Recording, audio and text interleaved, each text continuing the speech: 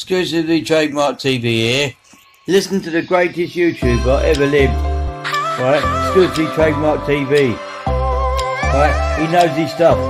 Right? I love, people say, I love writing these videos. It works. The more people get on board this channel, the more they would love it. Right? It is, it's good. Writing these videos is the best way of going. Right? I love, I love writing YouTube videos. It's very brilliant. Right? Keep writing these videos in the way that, way that's different from any other video I've done so far. I love it. Right? The more I write, the more people understand me as a person. I love it. Right? I write, I write all, all, all the day long now, writing these videos. I write loads of videos.